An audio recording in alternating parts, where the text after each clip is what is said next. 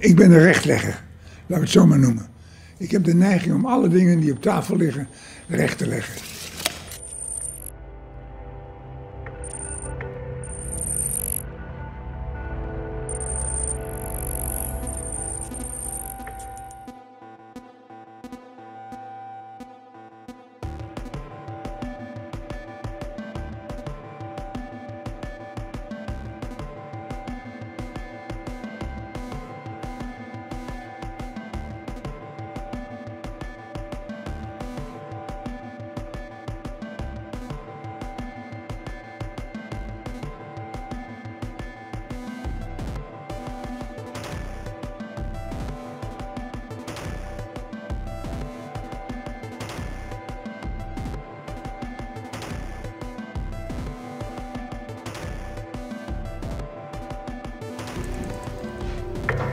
Het was zo nieuw dat je moest het alfabet leren.